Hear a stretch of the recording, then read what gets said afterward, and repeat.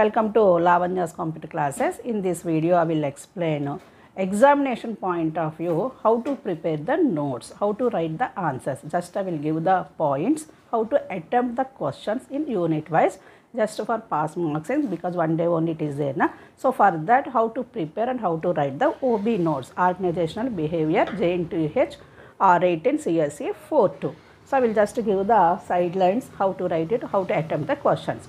First question is introduction to OB. We just write the OB.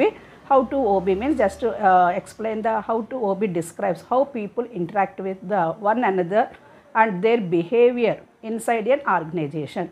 Uh, organizational behavior explains how the people are interacted with one to another, how to behave with, with their colleagues and how to interaction with the people and also in working atmosphere. That is the concept of OB.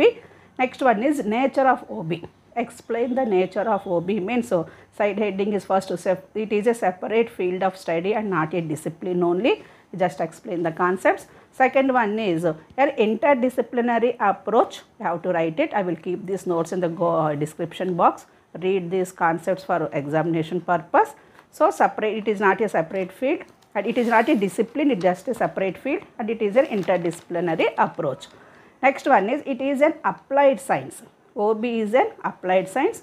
Next it is a normative science. These are the side headings. Remember the side headings and then write the notes for this. Next it is an uh, uh, optimistic approach. Next one is it is a total system approach. So these are the side headings you have to write for nature of OB. Then next write the scope of OB. What is the scope of OB means in the scope of OB we have to explain with the diagrams. What is this means it is the individuals. OB means it is an organizational behavior how the human is behave in the workplace. What is the scope of the comprises the study of individuals, groups and in organization. Individually how to behave in the organization. In the group wise teamwork is very very important. How we are behave with the groups and in the organization also management side. So this is the scope of OB individuals, groups and organization. In the individual means have to maintain personality, perception, attitude, motivation, motivation, job satisfaction, learning and values. These are the important things. And in the groups, group uh, dynamics, group collection, conflicts, communication, leadership, powers and politics. You have to maintain these all the things. And then for organization, we have to know the structure of the organization, culture of the organization, what are the changes are applied in the organization, development of the organization, how we are behave, how we are cooperate for developing the organization. This everything is coming under scope of in uh, OB. Then we have to write the individual's answer. Then group, group, organization. This everything I will keep it in the notes. We have to prepare very well. Next, environment and organizational context. What are the internal and external issues?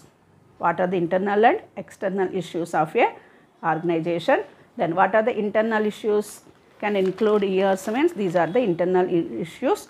Regulatory requirements, risk opposites, resources and knowledge we have to gain and relationship with your staff and stakeholders very very important thing. And strategies to conform to your policies and achieve your objectives. These all are the internal internal issues and external issues.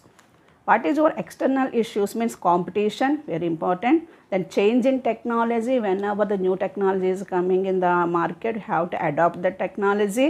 Economic shifts in your market and uh, regulations and changes in the laws whenever any law is changed, any rule is changed, you have to implement immediately for your organization. Next one is impact of IT. Nowadays, all in all the places, IT is must and. So, impact of IT is there. What is the definition of IT? IT is defined as the science and activity of using computers and other electric equipment, electronic equipment to store and send information. Because you are all are the CSC students, we know very much about what is IT and impact of IT the impact of IT, political impact of IT, you have to write it. Next, economic impact of IT, economically how IT will be increased. Next, the social impact of IT. In the social impact of IT, it has two sides. It cannot be 100% negative or 100% to positive. Two sides uh, IT is impacted by the social, so in the social network or in the so, మన society. So we just explain how the IT is impacted in our social life. Next, globalization.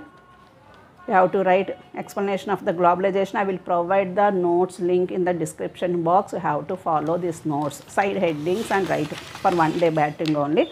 Next one is what is the definition of globalization? You have to write globalization and then financial resources. This everything is the scope of the IDs.